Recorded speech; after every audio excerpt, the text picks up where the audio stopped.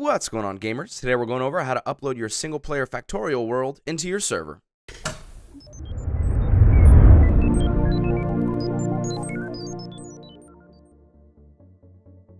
Before we get started, don't forget to like, subscribe, and ring that notification bell in order to stay updated on all of our future tutorials. When you're playing Factorio, you may want to start a new server with your friends because, well, playing with friends is tons of fun.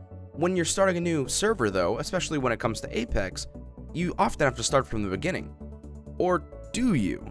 You actually can make your server look something like this, especially if you've done it with your single player world, if you follow this tutorial. And today we're covering how to do just that.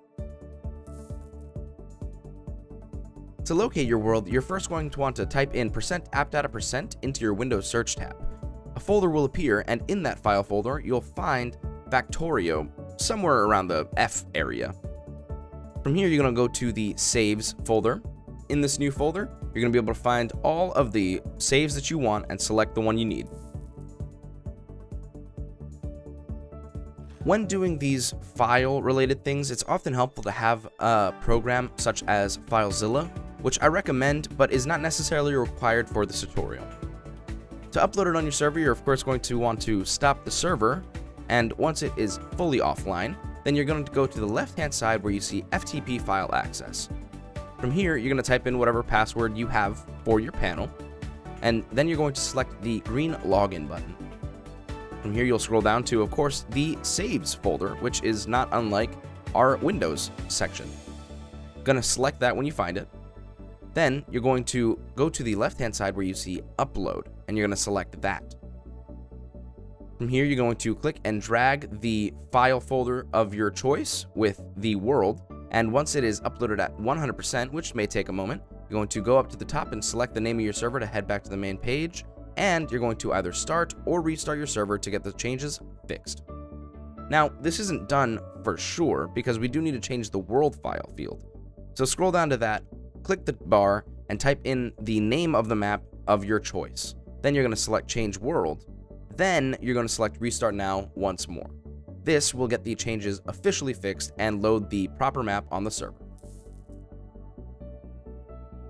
Now let's cover a couple of common issues, shall we?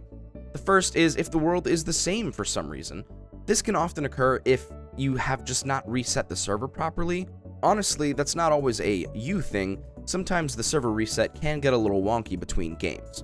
So just do it one more time and you should be good to go.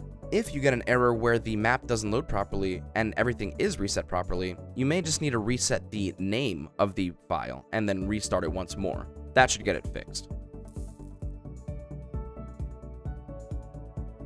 Well gamers, that's all you need to know about this tutorial. From here now, you know how to go from basic to, well, this. I mean, this looks like something out of Clash of Clans if you ask me. So, what are you waiting for? When you want to get started with your friends, this is how you can get started, without having to start from the very bare minimum. That'll just about do it for this one, gamers. As always, I hope that you have lots of fun. Thanks for watching. If you want to see more great content like this, then subscribe or click these videos. Until next time, gamers.